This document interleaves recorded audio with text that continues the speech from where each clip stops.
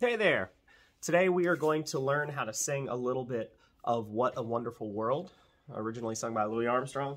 And uh, yeah, here we go. So it's got like two main sections. It's got a verse chorus and then it's got a bridge and all the verse choruses have the same notes. So they should be really easy to learn. So that's where we're starting today with uh, I see trees of green, red roses too. I see them bloom for me and you. And I think to myself, what a wonderful world. So I'm going to sing it, and then I'm going to play it on the piano, and while I'm playing the piano, I'd like for you to echo me, please.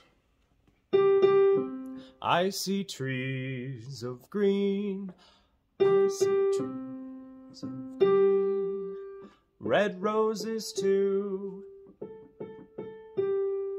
I see them bloom for me and you. I think to myself, what a wonderful world.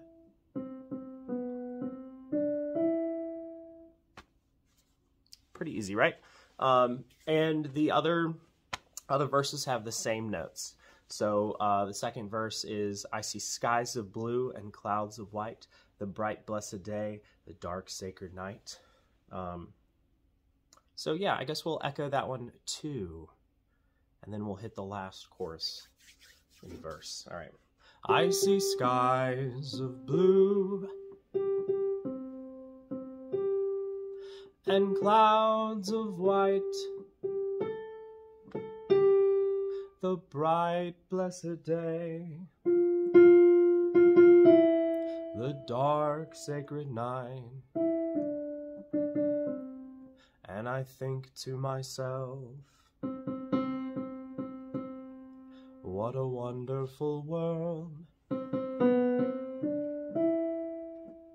And the last bit that goes like that is the, what is it? I hear babies cry, I watch them grow, they'll learn much more than I'll ever know. Here we go. I hear babies cry,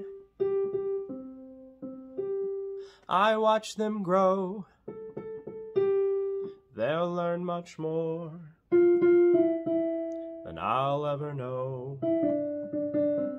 And I think to myself,